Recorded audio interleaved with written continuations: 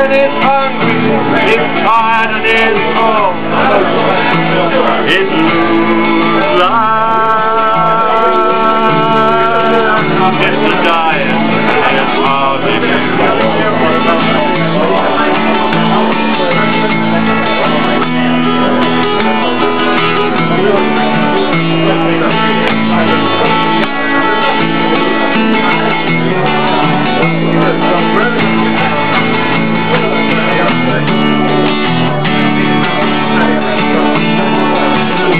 Hey,